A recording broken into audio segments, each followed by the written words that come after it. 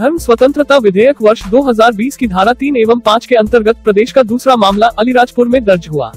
इस धारा अंतर्गत अलीराजपुर के उदयगढ़ थाना क्षेत्र के जाम्बूखेड़ा में दिलीप रूप सिंह के खिलाफ कायमी की गई। पुलिस ने पहले एट्रोसिटी एक्ट में मामला दर्ज किया था।